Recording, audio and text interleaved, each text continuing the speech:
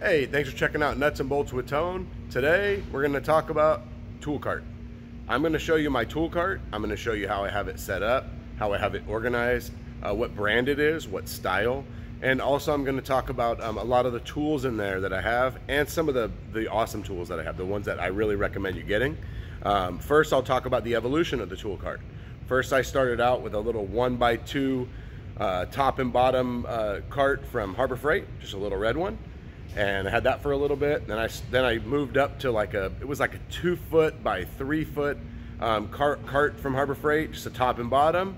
I used that for a while. Then I actually took that cart and I added a whole bunch of metal to it, made a side tray, made a drawer in it, upgraded the casters. I used that for a long time.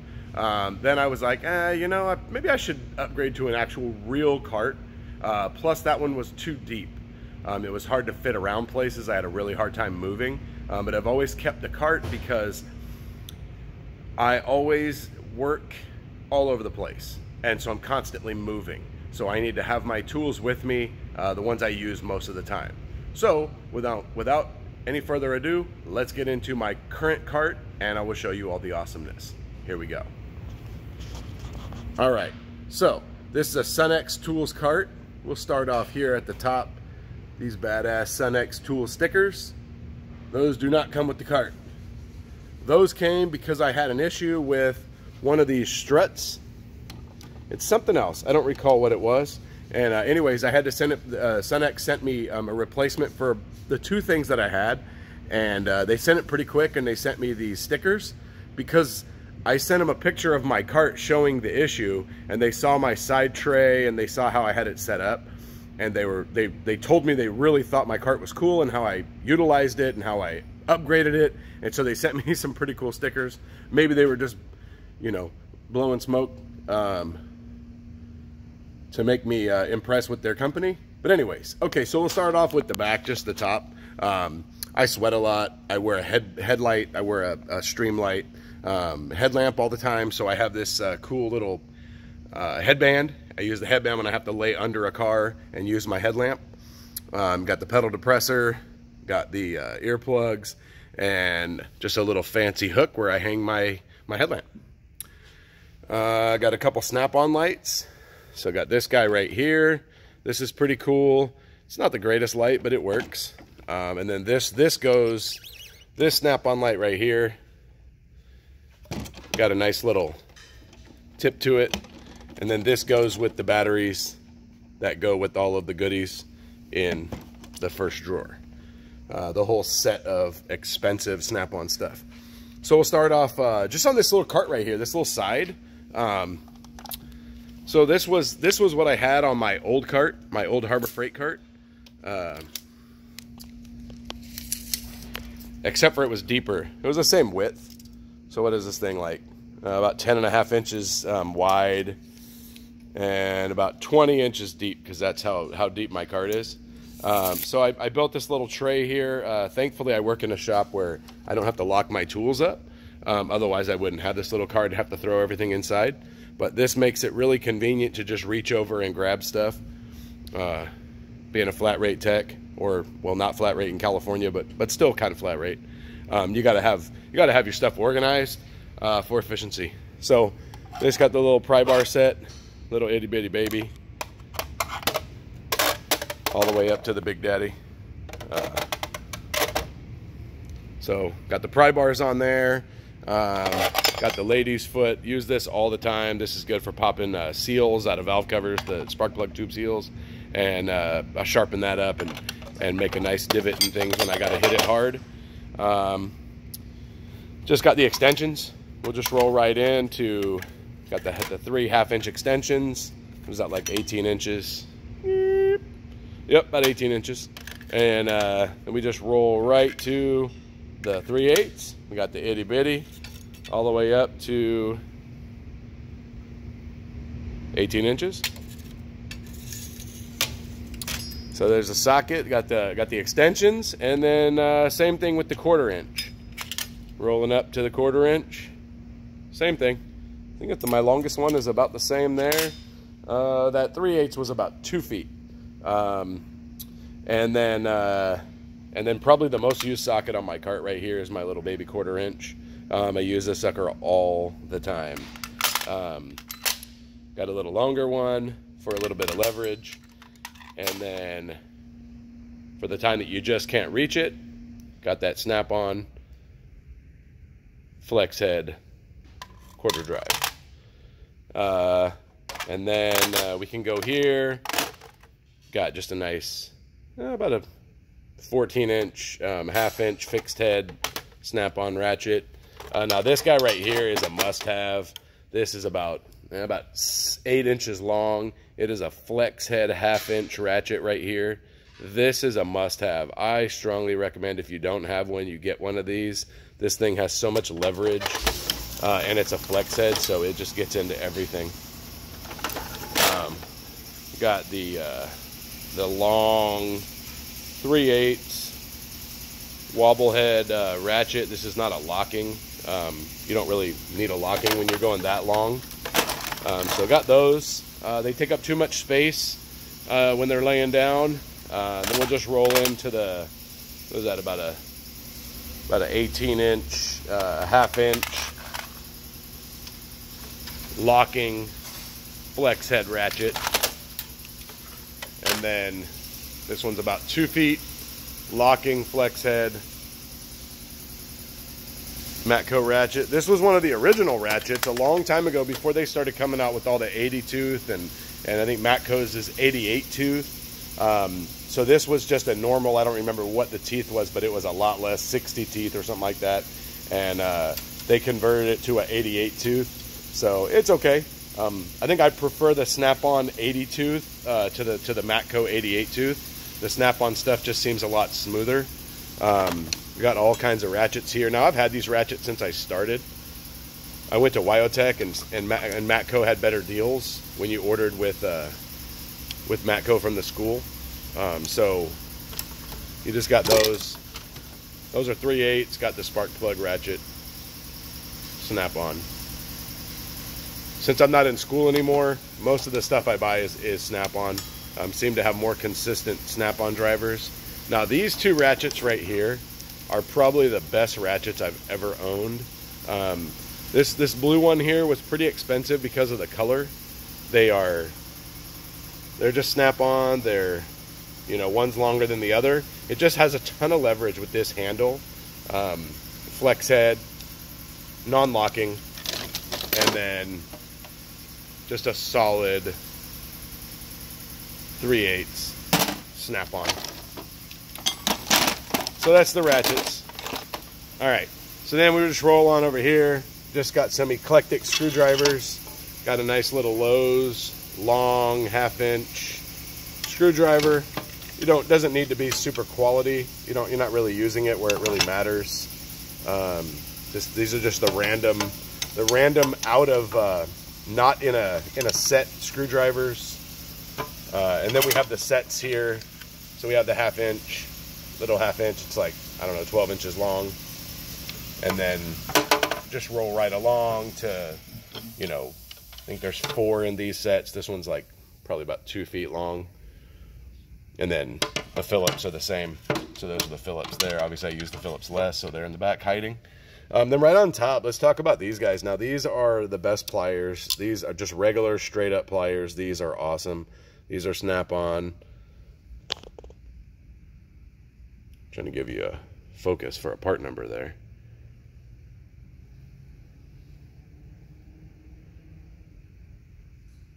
Yeah, anyways, uh, so this is these are about uh, 10 inches long or so.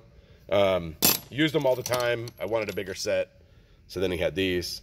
Now these are these are two sets of pliers that obviously I use all the time. They sit on top of my on top of my sockets, so that tells you how much I use them um, all the all the time. Okay, so this is most of the sockets I own. Um, I have a I have another socket drawer in my toolbox, but for the most part, this is what I have right here. So now these guys right here, these you ever have that balancer that just won't break loose? Um, and they sell Honda sells a tool and Toyota sells a tool to hold the balancer. You got a chain tool to hold it. Uh, but if you just want a little extra oomph, you get these guys right here. Uh, this guy, this guy's a three quarter. So we're going to use this on the Hondas. Um, what size is this one? And this is a 22 millimeter. So you're going to use this on the Toyotas. Um, it's three quarter drive. That's the only bad thing. So if you have a three quarter gun, it'll be awesome. But what I do is I just have a, uh, I just have a, a half to three quarter adapter. Um, that works. That will take off most Honda and Toyota balancers. Um, even if you have that super gun and you have that balancer that's just stuck, that won't come break, break loose. Um, those generally will get them off. You just have to have a little patience. Uh, and then we just kind of roll through, you know, just kind of keep it the same. Got the 3H drive, uh, deep sockets, quarter and, and standard. Um, got the whole rail of, of uh, half inch impacts. What is this one? A 12. So we'll take a 12 all the way up to 36. So about that set from Matco. Um, so that goes all across there. You got the standard, you know, what is that like 7 16ths half inch all the way up to one inch. Um, I have the bigger ones in my box. I don't use those that often. Obviously it's standard. Um, then when you got, these are a must. Now these are, these are a cool brand. So this is Sunex. Um, so these are 24, this is a 24 millimeter Sunex Tools uh, uh, impact wobble half inch. So this set starts off at, well, I've never used this one. This set starts off at 12 millimeter and it goes all the way up. So Sunex Tools is really good. Every time I have a socket that, that defected, I just message them. They, I just have to send them a picture of the socket, um, the part number, and they, then they mail me a new one. I don't have to mail them anything. Uh, I don't have to send the socket in. Um, I have like probably four different 17 millimeter uh, 3 8 wobbles that have broken and I just have to keep getting new ones because I use that for brakes all the time. So then obviously we have the 3 8 is the same. This is not focusing. Uh, so that's a 19. So we got 10 to 19 on the Sunex. Um, and then obviously we got the, the, the female Torx, reverse Torx, whatever they're called, not real sure. Um, and then, and then funny story about the Torx is when I first started in this industry, the Matco driver at the time, he obviously didn't know anything about tools either because he sold me these, this set of, of Torx Plus sockets. So for the longest time, all I had was Torx Plus. I didn't even have a Torx set because I didn't know there was a difference. Um, so then eventually I had to upgrade and buy, uh, actually it might have been, I was a Snap-on driver. Yeah, he didn't know what he was talking about. But anyway, so then I had to get the Snap-on um, Torx. And then uh, to go with the Sunex, uh, I got the 3 8 long, deep, uh, deep wobbles. Now those are awesome. You don't use them all the time, but when you need them, you need them and I have them. So then you just kind of roll over here and you got just the regular, you know, quarter inch sockets. Little Schrader valve tool. Use that a lot in the summertime. Um, got the hex heads. Got the random quarter drive. Got some quarter drive medium length sockets. Uh, you need those quite a bit. And, uh, and then this is just a whole bunch of random O2 sensor sockets, oil pressure sockets, spark plug sockets. Um, this funky little guy right here, I don't use this very often. It's snap-on. It's a little 3 8 It's got a 3H drive, and it's also got a 3H drive that way. So I've had a couple times where I had to come in from the top, and this was underneath, ratcheting like that. So that is definitely a, a really cool tool. Um, and then obviously you got the big Torx for the Subaru drain plugs. Yeah, you got to have that one. 70, torque 70. Uh, so a couple screwdrivers, big giant breaker bar. This one goes all the way down the whole cart. Uh, so then we'll just go right into the drawers. So we're gonna go into the drawers and uh, you got you got the nice uh, gear wrench set, 8 to 24.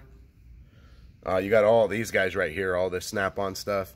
Um, snap-on uh, half inch cordless ratchet or gun, little quarter drive. Uh, that's a 3 3 H drive impact gun. Um, quarter drive gun. Got the long 3H ratchet. Uh, then the regular 3H ratchet. And then obviously the long quarter inch cordless ratchet. Now this was my first one right here, the regular quarter inch. And then you can see that the long neck is much longer. So this guy right here, he's all by himself. I can't remember the last time I used him. I probably should just take him home. Uh, and then these guys right here, it's a, working quite a bit of turbos, and you got those uh, the CAC tubes, you got the the Marmon clamps, I think they're called. So they sell a sock a set of these sockets. Um, this is obviously the one you use the most, the six liters, the Duramaxes. Um, got a couple smaller ones, but it's a little four set of sockets for the turbo turbo clamps. Make it easy. Come to this drawer. Now this drawer has, is kind of eclectic, has a whole bunch of random stuff, um, but a lot of goodies in here. A lot of goodies. So you got these from Snap-on. These pliers right here are fantastic for inner tie rods. Sprinters, uh, those work really good for sprinters. Um, got this tool right here. This is really cool for breaking oil pans loose. Uh, just some uh, vice grips, connector disconnects. Got the brake, the brake spring, uh, release tool. Got some tools for catching clips and pulling clips. Some 90 degree strippers. Uh, now I just saw I just saw a thing about these not that long ago. So this is Vampire Tools. Why won't this thing focus? Vampire Tools. And now these these uh, I just saw uh, this guy shared this on Instagram, and uh, I, I, told him I said, "Oh my God, I have these pliers, and these are the best pliers ever. Uh, these are going to premiere at at SEMA this year, I guess, virtual SEMA. But anyways, so these pliers, they have threads that go sideways.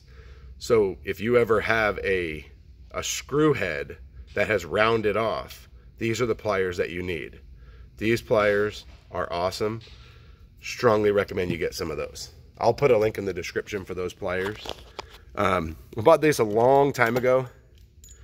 Back when I first started. Heater hose pliers. This swivels. So they're really, it's really good at breaking them loose. Uh, you kind of come through, have a bunch of hose clamp pliers. Um, this is my multi-tool, my multi-pliers. I have a video on this. I'll put a link in the description for these. I actually use these all the time. This is one of my tools that I use almost every day. I use these for body clips. I use them for just about everything. You got this little clip popper. And then obviously you got the long one. And then just some long picks, short picks. This is supposed to be for radiator hoses so it doesn't cut them. I don't think I've ever used that. Uh, just all kinds of random picks. You use all this stuff. Sometimes you get those those vehicles that are really difficult and you have to go through a lot of this stuff before you can figure out what works. Just a little pick. I have a little four set of these picks and this is like Kobalt. Um, use this little guy all the time. That's why he's not with his friends. Um, the other ones are in the with the set. Uh, this drawer is kind of cool. So this drawer is just all of my other ratchets that I have. So this this ratchet right here actually, when you turn the handle,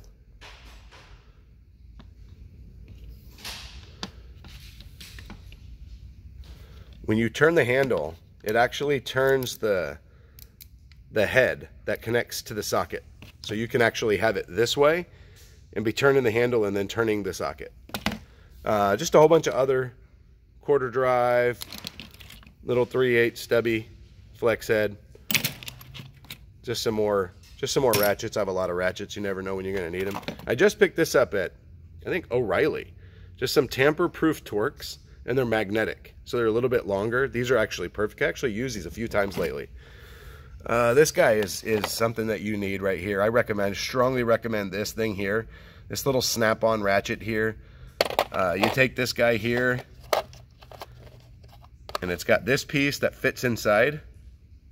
And then you can put a screwdriver bit in there and it's magnetic, so it holds them, or you have a whole bunch of sockets. So that's a 13 millimeter, and that thing is tiny. So anyways, uh, I strongly recommend that, and then uh, upgrade to the bit set, because these are little tiny bits. Little, little tiny bits. These are really good for like Sprinter fan clutches. Um, come through, got the serpentine belt tool. Got this set of wrenches. These are really weird there, it's it's. They say that these cover just about every angle between each wrench. Uh, the only bad thing about this set was it didn't come with very many. It only came with like a 10, 11, 12, 13, 14, 15, and 17. These are really good for injector uh, clamp injector tubes for diesels. Really, really good for that. Uh, I got the inspection mirrors. Use these all the time. And then uh, locking ratchets.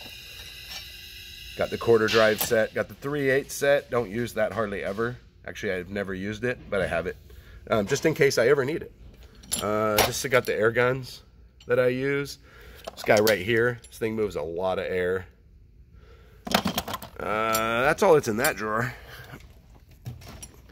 Let's roll onto this drawer. Got the Mac Tools 33 piece set. It's got a whole bunch of different bits and Torx. Torx and Phillips and half inch, I mean, uh, and flat. Uh, just Harbor Freight hammers. I've had this set for 15 years. I bought that set when I first started. Uh, the other couple are at home. Got a couple hood props. Um, dead blow hammers. Uh, now this is just the eclectic set of pliers. You got all the all the channel locks. You got uh, these guys right here. This is like all these 410s, I think. This is really good. A long time ago, I had to use this, and it was the only thing I could do to get an O2 sensor disconnected just because of the, the size and the location. And this grabbed onto it. It's kind of like a pipe wrench in a way. The way it grabs, it uses the leverage. I just had to have this warranted. Um, it's got brand new teeth because it's brand new. Anyways, I think they're called 410s. It's really good pliers. I recommend, strongly recommend those. What are these? Knipex? Yeah, I got these Knipex uh, pliers. They these are really good because you can you can get a nice little uh, little grab on things. It's got a a pin here that locks it in to a certain size. Uh, really good pliers there. Now these are a random set of pliers right here. This goes along with my multi-tool plier. I actually put a speaker box in my in my son's friend's car this weekend and I forgot my multi-tool plier, but I brought these. This actually worked really well for getting body clips out from underneath the hood. Uh, these are Matco. Um, I bought them because they looked weird and man, they work great. Uh, I just got a bunch of cutters, just angled pliers, a whole bunch of different configurations of of long handled needle nose pliers because sometimes you have those heater hoses that just take forever and you end up with like seven or eight different pairs of pliers all over. Wire strippers vice grips. Pretty much that's all that's in that drawer. And then this drawer is used to be all the good stuff. Don't use a lot of it anymore. Got the half inch impact the snap on um, uh, that back in the day that was their that was their big gun uh, got the backup. That was my very first half inch drive uh, impact right there, Matco. Um, got this guy here. Now this guy is a must. A lot of companies sell this. This is a monster. Um, I've had this for quite some time. This tool works great for breaking balancer bolts loose when you have the radiator in. It's a stubby impact. Uh, and then here's a little guy here. This is a little tiny air ratchet. This ratchet works so fantastic for timing belts. Um, I use, this is actually the only air ratchet that I use. When I'm doing timing belts, I use this. Um, got these great wobble uh, connections. These are fantastic. I have these on all my air tools that I use quite often, or that I used to use. Um, and then the 3 8 gun, first 3 8 gun I ever owned, bought that back when I bought that. I um, use this all the time. Uh, got the air hammer, and then use this quite a bit, the die grinder. Um, and then here's a socket of something that I bought because I thought maybe it would be coming out. 18 and a half and 19 and a half flip socket. Believe it or not, lug nuts are starting to, to be half sizes. So get you one of those. I think I bought this on Amazon, actually. Not even sure what brand. Yeah, 18 and a half and 19 and a half. So that's all we got in the bottom.